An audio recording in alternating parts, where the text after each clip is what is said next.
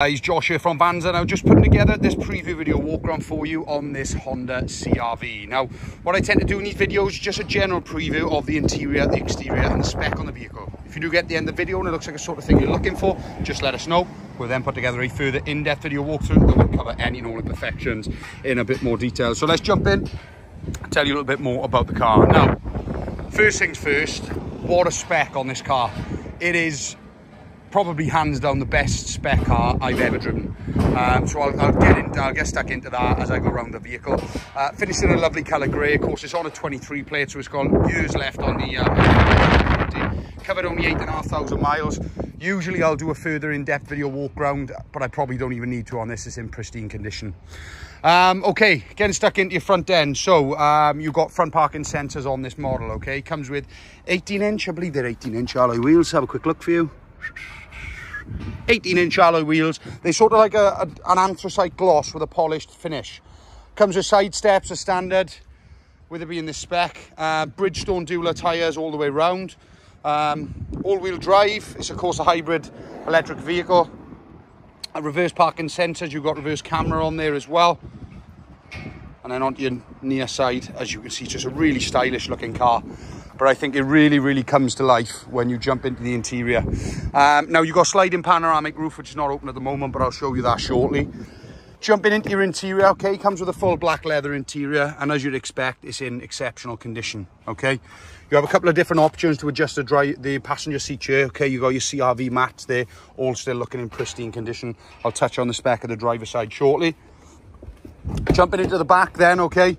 Um, so, heated seats in the back, heated outer seats, okay? So there's the button for that. You've got chargers in the back here, USB chargers, okay? Isofix on the two outer rear seats. You do have a little pull down then for your armrest and cup holder for rear passengers, okay? Jumping into the back then, so you've got an electric tailgate there. Plenty of boot space. Okay, you got your parcel shelf. Sorry about that. So there's your parcel shelf, as you can see, and then you've got all carpet there, lashing points and everything. You do have a little power out output there, 12 volt power output, little handles to pull the back seats down. Stick this back in place though. Okay, and you got your button there. Jumping onto this side then, just a similar story as you'd expect. Real nice design on the seats, or a pattern on the seats. I think they look really stylish very modern. And then let's jump into your interior. Now, what I tend to do with this part of the video is just a quick fire of all the spec, but with it being so much, just bear with me. And of course, if there's any bits I missed, just let me know.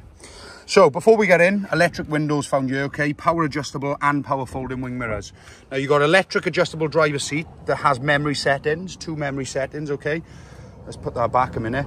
Here's your view of your driver seat there with our sliding panoramic roof, which is lovely, especially on days like this.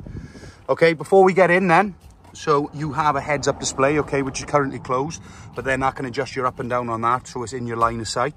Uh, lane departure warning, pre-collision assist, your parking sensors. Now this one, I don't really know. I think it's heated windscreen, but um, it seemed to have a wiper on it, but heated windscreen, I believe, electric tailgate, and then of course your traction control. Now it's keyless start using this little button here, so foot on the brake. And of course, we're up and running there straight away. Okay, there's your heads up display coming up, okay? And then I don't know whether you can see it, but here we go, let's zoom in. You've got a couple of different options to play with there, okay? So there's your heads up display. Now in terms of your spec then, okay, so you've got a full multifunctional steering wheel, okay? So you have a full interactive dashboard here, which you can go through your options on the steering wheel controls. Heads up display options are found here, okay? So you can flick through whether you want it to be um, I don't know whether you can see it, but to give you an example, you've got miles per hour, you've got your hybrid mode, you've got your compass, you've got your signage, so 20 mile an hour. Um, cruise control and adaptive cruise control, in fact, and speed limiter settings. Heated steering wheel. And then this one here, I believe that's going to be self-drive capabilities or self-steering on the motorway, okay? You can see the little hands on there. On your left-hand side then, so that's how you navigate through your you use this to go through your sort of media settings there, voice command, and then you've got this little button to go through your interactive dashboard, okay? To show different options there, as you can see. Automatic lighting, um, and then you should have some automatic uh, windscreen wipers there as well. Now moving on to your center console then, okay? So it's fully touchscreen. Now, I believe that it comes with um, wireless Apple CarPlay,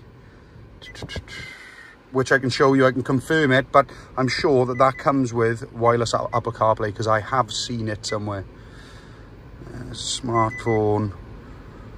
But if it doesn't, it is normal CarPlay, okay? But anyway, let's move on from that, okay? So you can see your different settings there. You have sat-nav, you have phone settings, you have DAB radio, FM, AM radio, okay? Bluetooth, medium phone connectivity as well. Your climate settings are found here. So you have automatic climate control. You have, of course, the all-important air conditioning. You have heated seats on your driver and passenger side there, okay?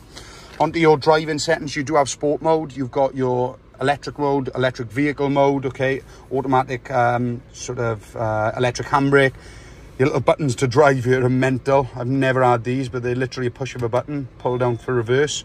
There's your reverse camera then, okay? And then if you stick it into drive, it's your reverse camera. So you've got a couple of different options as well. You've got your curb and things to look, so a couple of different displays on there as well. Stick it back into park.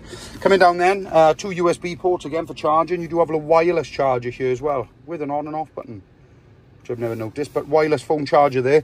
Cup holders, adjustable um, armrest there as well, okay.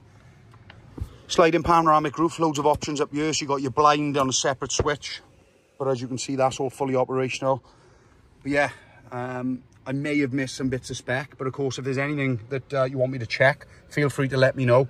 But uh, what a vehicle. Really, really impressed. So let me know your thoughts. And of course, anything further I can do to help, just give us a shout and I'll be more than happy to cover in a further video. Thank you very much for watching. Take care. Bye-bye.